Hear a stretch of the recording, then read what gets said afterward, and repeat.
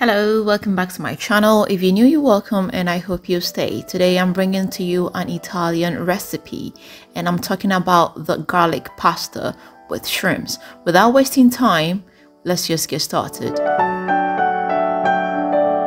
First of all, we need to cook the spaghetti first, so I'll put some water on fire and come in with a little bit of salt. After the water has started boiling, I'll come in with my spaghetti.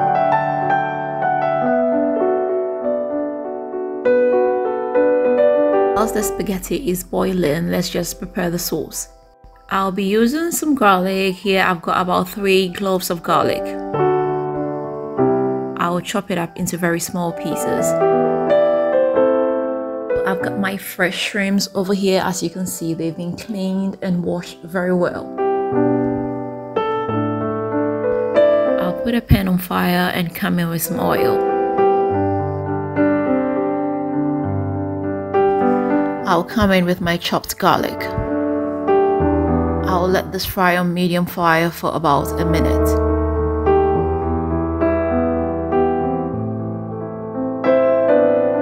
Then I'll come in with the shrimps.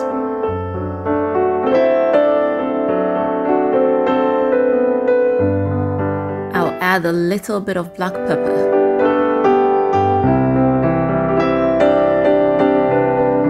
Cover this up and let this cook for about 3 minutes. It's been after about 3 minutes, I'll just take off the lid and let the water evaporate a little. I'll come in with a little bit of dark soy sauce. Now the spaghetti is well cooked so I'll just drain the water and put it in the sauce.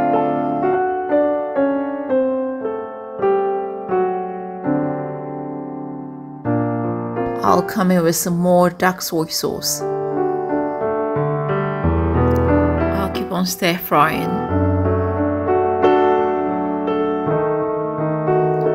I'll add some salt to taste and some parsley.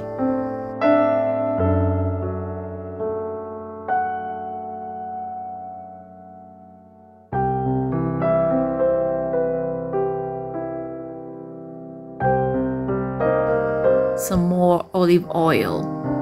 So I'll stir fry for about 30 seconds more and I'll just put off the fire.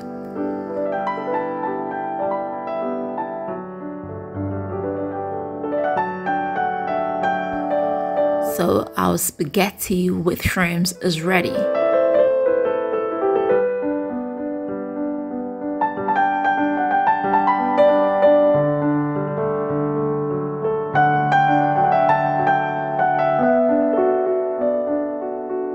I'll come in with some more parsley because I just love parsley. This is a really quick fix, is easy and fast to make, but it tastes super delicious. So all you need is some white wine and you're ready to go. And yes, dinner is served. So this is it and I hope I did help you. I hope you are going to give this a try. If you do, let me know how it comes out for you. If you've not subscribed, please don't forget to hit the subscribe button. Don't forget to share this with family and friends and don't forget to leave me that big fat thumbs up. Until next time, I am going to see you again with another nice and interesting one. Bye bye.